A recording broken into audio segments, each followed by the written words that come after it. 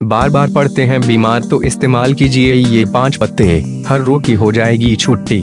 मौसमी बीमारियाँ हो या फिर लंबे समय से चला आ रहा कोई पुराना रोगा, कई बार देखने में आता है कि कई बीमारियाँ लाइलाज सी हो जाती है।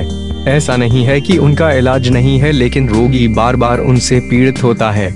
एलर्जी हो, सर्दी हो या फिर पेट से जुड़ी कोई समस्या, कई बार इन बीमारियों का इलाज कई तरह की चिकित्सा पद्धति में भी नहीं हो पाता।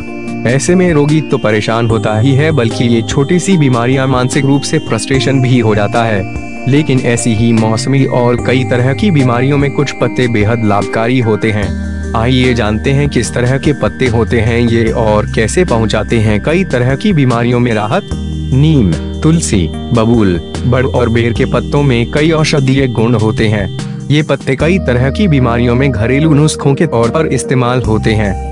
चर्म रोग से लेकर मंसूरों की समस्या और बालों के झड़ने की दिक्कत तक में ये पत्ते अंग्रेज़ी दवाओं से ज़्यादा कारगर साबित होते हैं। आइए इन पाँच पत्तों के औषधीय फ़ायदे जानते हैं। नीम का पत्ता बेहद लाभकारी होता है। अगर आप सुबह खाली पेट नीम के 10 से 12 पत्तियों को पीसकर पीते हैं तो आपको कभी चर्म रोग नहीं होगा। इसके अलावा, नीम की पत्तियों को पानी में उबालकर सिर धोने से बाल झड़ने की समस्या भी खत्म हो जाएगी। झुओं की समस्या में भी नीम के पत्ते फ़ायदेमंद होते हैं। तुलसी के पत्ते की चाय पीने से सर्दी खांसी में आराम मिलता है। अगर आप रोज सुबह तुलसी के पत्ते की चाय पीते हैं या फिर नियमित तौर पर तुलसी के पत्ते खाते हैं तो आपको कई तरह की बीमारियों से छुटकारा मिलता है। नीम और तुलसी की ही तरह बबूल की पत्तियाँ भी बेहद लाभकारी होती हैं। बबूल की पत्तियों को पानी में उबालकर कुला करने से दांत व मसूड़े मज़बूत होते हैं नीम की ही तरह बेर की पत्तियाँ भी बाल झड़ने की समस्या से निजात दिलाती हैं।